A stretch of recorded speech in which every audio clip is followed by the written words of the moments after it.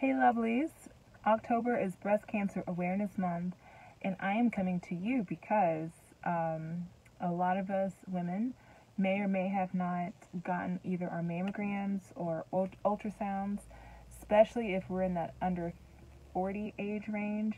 And I'm going to say that actually this is my, um, I think this is like my third mammogram that I've had in the last year. So, as many of you know, I am in my mid 30s and had my very first mammogram last year. The reason why was because um, when I went in for my yearly, my doctor felt something that felt suspicious and she wanted just to double check, make sure nothing was going on. So I had a mammogram done. And then I had my follow up um, just yesterday. So want to make sure that you all don't be afraid of getting your mammograms. Don't be afraid of asking questions.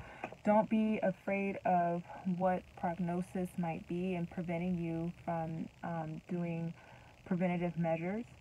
So, you know, I'm fine. Um, we're just making sure that everything stays fine. But this is why healthcare is, is out there, and this is why mammograms um, are one of the best ways of detecting breast cancer. Um, of course, there might there's always um, things that fall through the cracks, but normally a mammogram followed up with an ultrasound is like a one-two punch. A 3D mammogram, a 3D mammogram really allows you to see everything. So I encourage you to get the conversation started.